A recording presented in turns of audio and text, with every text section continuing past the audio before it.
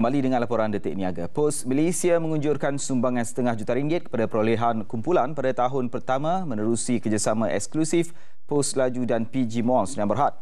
Menurut Ketua Pegawai Eksekutif Pos Malaysia, Datuk Muhammad Syukri Muhammad Saleh, kerjasama itu adalah sebahagian daripada strategi jangka panjang Pos Malaysia untuk menjadi penyedia khidmat e-dagang logistik di rantau Asia Tenggara dan global. So, but as I mentioned, uh, given the starting point that we have and unique position of PG Mall uh, as compared to other players in industry, uh, given the uniqueness of the position, um, I believe we can grow a lot faster than the the other players in the industry. Terdahulu berlangsung majlis memeterai perjanjian kerjasama eksklusif antara Pos Malaysia dan PG Mall. Selain menyediakan perkhidmatan penghantaran di bawah perjanjian itu, Pos Laju juga menyediakan perkhidmatan berteraskan e-dagang termasuk tunai semasa serahan, kad kredit semasa serahan, khidmat kendalian khas barangan pukal serta perkhidmatan e-penunaian.